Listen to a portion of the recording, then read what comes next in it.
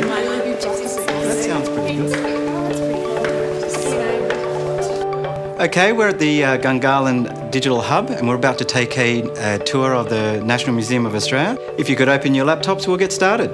Today, the students are taking a virtual tour of the National Museum of Australia with the CSIRO Virtual Museum Robot. Hello and welcome to the National Museum of Australia. Museum Robot here is a, a, telepresence platform that allows remote visitors from all over Australia to dial into the museum and get a virtual tour of the museum's exhibits and be able to see the exhibits in the gallery in a panoramic uh, sense and be able to access all sorts of extra information.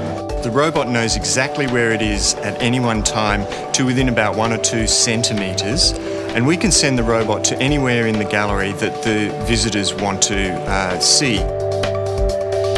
We're now here at Phar Lap's Heart.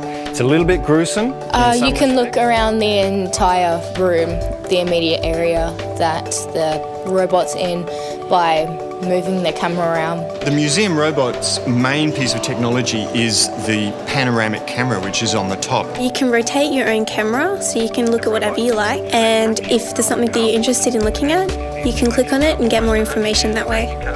Um, and in various ways, they demonstrated. But in addition, we've got a second camera um, here which uh, is always trained on the guide from the museum who can talk directly to the people in towns across Australia.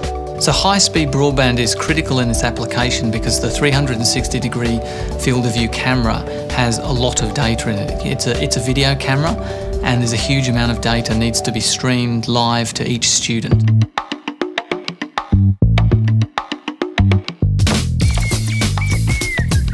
There's all sorts of interactive features that are built into this as well. They can click on certain objects that they can see in the camera and they'll get extra information. Which can be letters, diaries, photos, and all sorts of other information. You can look at other stuff around where the robot is and click on it. It comes with a little slideshow where you could read the exhibit panels. It's it's like actually being there. They can also interact with the guide by asking him questions, and the guide can ask them questions to respond as well. I see we have a question from Jaden. Hi, Jaden. How you going? I'm good. I just wanted to know who the people behind you were. Ah, that's a great question. We've got two giant puppets here. We can make sure that we're satisfying their curiosities, meeting their learning needs, and engaging them in a face to face way. The tour was really informative. Uh, it's almost like you're actually there.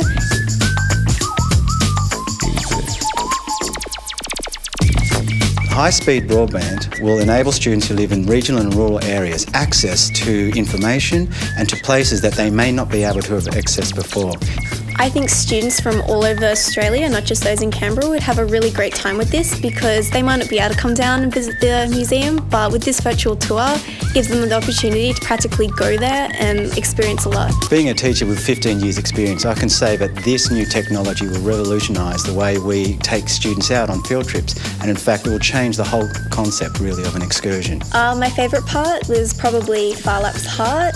Uh, he explains a lot about the um, different stages of Phar Lap's life. Here's a multiple choice question for all of you on the tour. They can ask you questions, so it could be a multiple choice question or a yes or no question.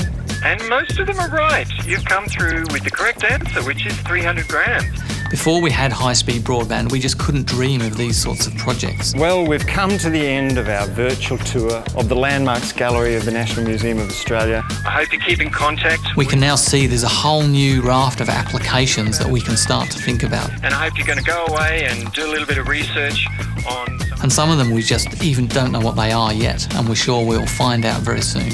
And we'll catch you later. Bye-bye.